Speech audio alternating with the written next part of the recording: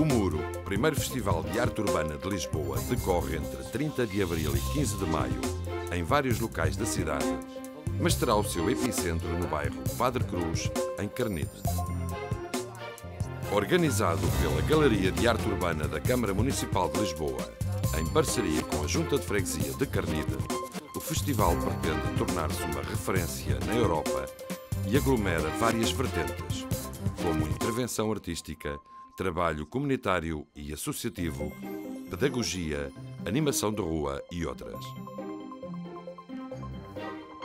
Na apresentação, Paula Marques, vereadora do Pelouro de Habitação e Desenvolvimento Local, explica porque é privilegiado o bairro Padre Cruz.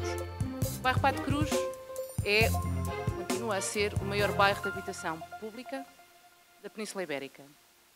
É, uma, é um território que só por si é uma, é uma comunidade maior do que algumas cidades que nós temos no nosso país.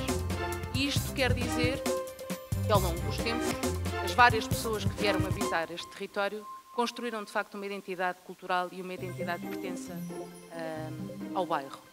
Por seu lado, Catarina Vaz Pinto, vereadora da Cultura, saúda a iniciativa. A cultura não é só arte que se vê nos museus, não é só arte que está na, na, na, uh, nos teatros, nos grandes teatros, no, nos teatros de ópera, nos teatros municipais, nos cinemas. A cultura é a expressão artística de todos aqueles que têm uma capacidade de, de expressão simbólica e ela está em todo o lado. Está na rua, está na rua, está nas paredes, está nos muros e a arte urbana é muito representativa também do nosso tempo, que é o tempo da vida das cidades.